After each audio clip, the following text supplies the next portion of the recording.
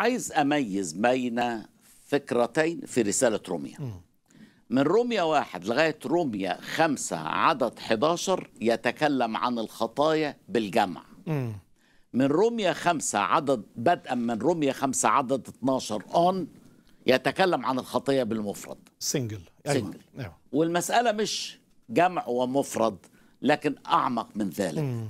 عندما نقول مثلا قبل أن دعاك فيلبس وأنت تحت التينة ليس المقصود بالتينة مجرد ثمرة تين لكن شجرة تين. فهنا لما بيكلمنا عن الخطايا بالجمع من روميا واحد لغاية لما نوصل لروميا خمسة 12 بيك آه 11 بيتكلم عن الخطايا بالجمع. وكيف أتبرر من خطاياي اللي ارتكبتها بدم المسيح؟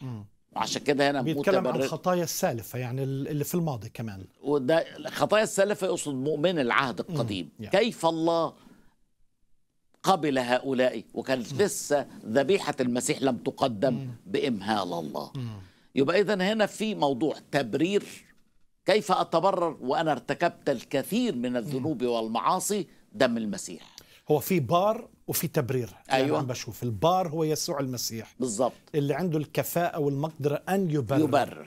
وكيف يبرر؟ بدمه. متبررين مجانا بالفداء الذي بيسوع المسيح الذي قدمه الله كفارة بالإيمان بدمه. بدءا من روميا 5 12 لا يتكلم عن الخطايا التي ارتكبتها لكن عن طبيعة الخطية التي ورثتها. وعشان كده يقول لك انت محتاج إلى عمل المسيح لكي تكون فيه وفيه اصبحن كاملا. ده الفرق ما بين كأنه جمع كل الخطايا وحطها في آه، خطية واحدة اللي بتشمل آه كل يعني الخطايا الماضي الحاضر والمستقبل أيضا. يعني عندما نتكلم عن الخطايا بالجمع فإننا نقصد ما ارتكبناه نحن. شتيمة حلفان كذب زنا نجاسة كله خطايا. نعم.